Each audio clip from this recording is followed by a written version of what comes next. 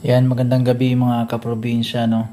Um, itong mga itlog na ito is, ito na yung eggs ng ating Rhode Island Red at saka Black Australorp. So, matatandaan nyo, it's been 7 months since nalagaan natin sila. Tamang-tama talaga ng itlog sila ng 7 months. And right now, meron tayong harvest na mga 5 eggs per day. 5 eggs per day kasi lima pa lang yung nangitlog. And may order na ito, may nagmamay-ari na nito. Pero hindi egg ang bibilhin nila, kundi sisiyo. So, naibenta natin ang sisiyo sa halagang 80 pesos kada sisiyo. Um, day old to week old yon 80 pesos. Ibig sabihin, itong mga itlog na ito is nagkakahalaga na 80 pesos per egg. Babawas natin yung bayad sa incubation. So, kahit tayo ang mag-i-incubate o kaya ipapa-incubate natin, average niyan is 12 pesos each. So, ibig sabihin, yung 80 pesos bawasan ng 12 pesos sa incubation, meron tayong 68, no? 68 pesos ang kikitain bawat itlog. So, instead na benta natin ng 10 piso, meron tayong 68 pesos na net, no? Hindi pa kasama ang bawas sa feeds.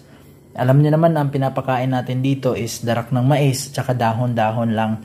Nangingitlog sila. Meron tayong nyug, uh, ginigiling natin yung nyog, ginag, ginag, pinapa, ang tawag nito, uh, grate natin, yun na yun. So, nakapangitlog sila, walang artificial feeds.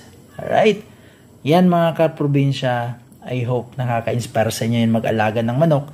Ibig sabihin yan, kapag ka meron kang 100 eggs per day times 68, pe 68 pesos, ibig sabihin, pwede kang kumita ng 6,800 Tama ba? So, pwede kang kumita ng 6,800 pesos per day provided na yung 100 na yun is magiging sisiw at may benta mo sa 80 pesos kada sisiw. Alright? So, hindi yun talagang fix. Pwedeng tumaas, pwedeng lumiit.